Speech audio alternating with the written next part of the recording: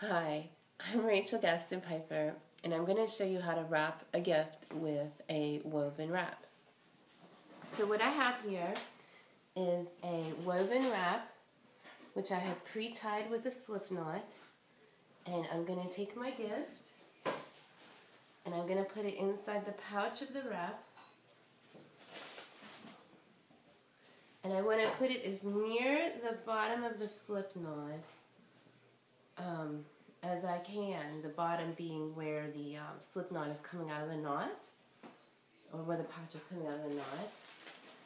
And then I'm going to go ahead and feed the um, top part of the wrap through the slip knot. Can you see how that's feeding? And getting tighter. Lovely. And then I'm going to tighten each edge of the slip knot to get it tighter show this edge to get it tighter. And now you take your, your um, two ends from your slip knot and stuff them down in the two edges that are open.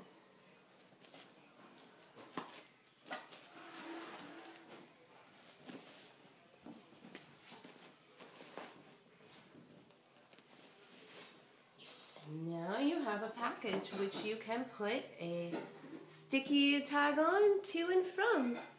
Happy holidays!